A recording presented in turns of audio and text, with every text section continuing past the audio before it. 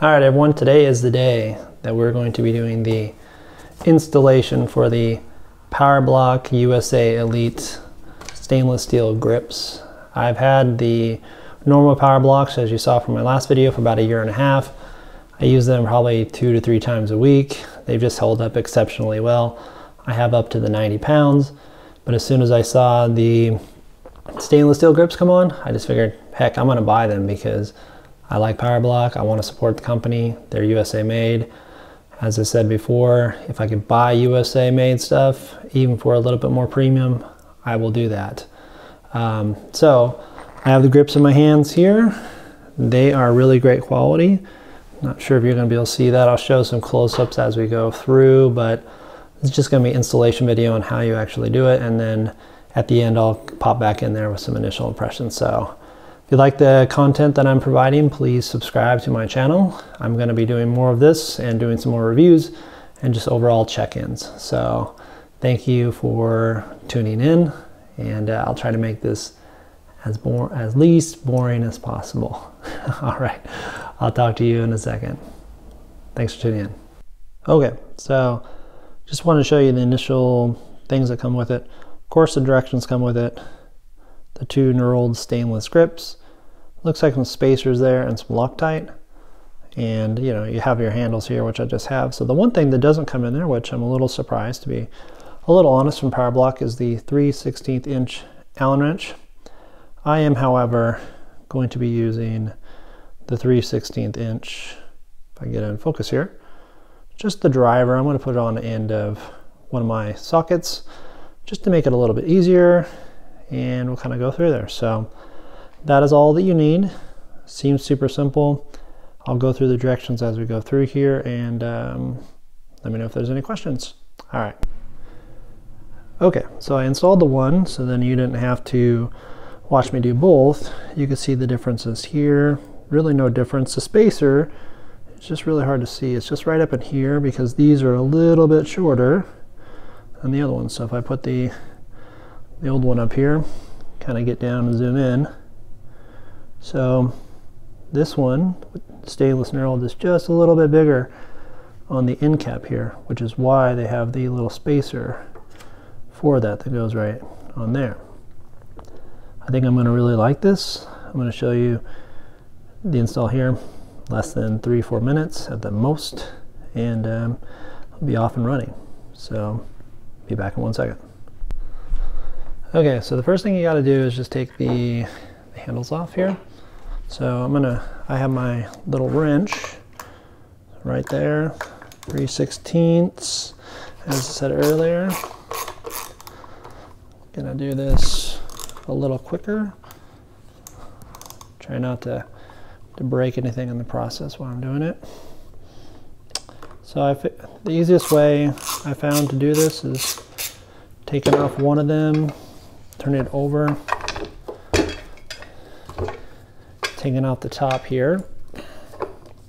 Just trying not to get everything to fly everywhere. Just kind of like that almost did. Okay, so here we go here. Put this back in this one the way it is. So there's a little notch here you'll see, which goes right here on the end. So I'm going to put this grip over here. So you see in the video here, there's a little notch and it goes right here. So when you put that in there, there's no way you can get confused about turning this around. So take off the other side and then this grip will come off of there. Easiest way to do it is just hold this here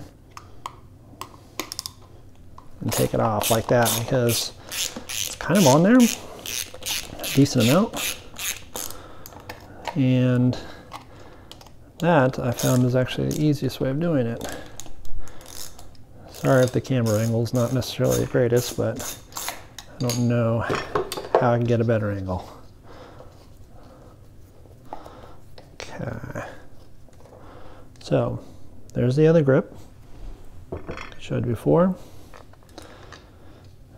Here's the one, here's that. So they want you to install this one first. Just gonna take off this and put it to the side. And always just make sure what, uh, what you have here. So here's the old bolts. Grab some Loctite. I don't know if this is necessarily like completely uh, necessary, but I'll put a little bit on here just to kind of, because that's what the directions say. Put a little Loctite on there. The big end here, put that all right over there. I found the easiest way of doing this is just turning this over, just making sure that we're lined up here. Put the screw in there first. Then you can kind of see what you're doing. And screw, as you're holding your finger up on the top here, just screw here so you can actually get it going. Okay, so got it going. Now I can just do the ratchet. As I'm holding the bottom, don't worry about it being like completely lined up at this point. You're just trying to get the, the bolt into there. So you see now, bolts in there, the spacers there, like I said earlier. So after this, goes relatively quickly. So before you really get it tightened up, turn it over just to make sure that you're lined up here. And this is actually the way you want it to be. So put that in there, give it a good, you know, half quarter turn. And now we could actually do the other side. So it's the same process. What I found is the easiest here is putting here.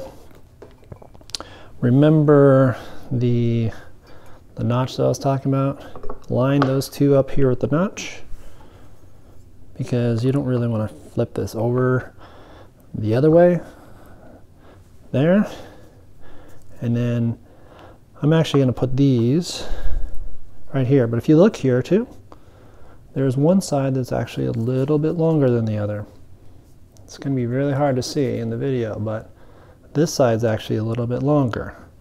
So that's going to be going in the side of the handle because it's really hard to see, but here, these are a little bit deeper than these. So just look at that because I had a little trouble with that the first one. So and we're going to snug it up here. And we should be good. And I think we're all set. All right. So I'll edit out some of that stuff as I did, but you can see super nice now. Looks great. Really nice in the hand, nothing too crazy knurl-wise, so I really like it. All right, so there's the finished product. I think they look awesome. I'm gonna really love them. The knurling feels great, as I said. The one thing just to make sure you test is just check the open and close here. I had one of them over here that it wouldn't close on the side, so what I had to do is just turn one of the bottom things there where I showed you that has the inlet. I just had to turn a little bit and kind of locked in itself. So just do a little testing before you actually start lifting to make sure you're safe. And uh, I appreciate you uh, watching this. If you have any questions about this, just let me know. And uh, take care. Happy lifting to you.